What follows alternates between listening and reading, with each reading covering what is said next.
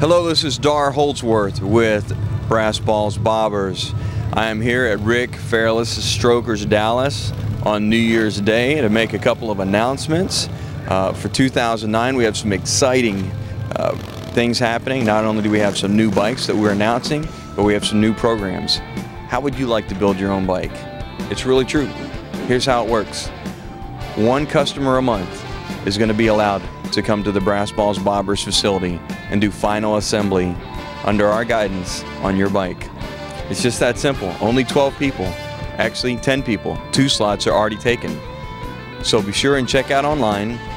Email us if you want to be in, uh, included. Evolve at darwinmotorcycles.com. Um, we have a brand new facility.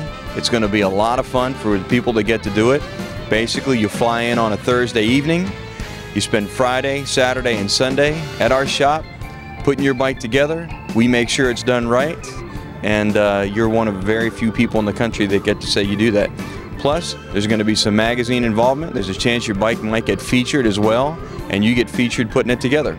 So um, be sure and sign up. Thanks for all the support in 2008. 2009 is going to be another great year for us. Be sure and check us out at brassballsbobbers.com. Happy New Year and uh, peace. See ya.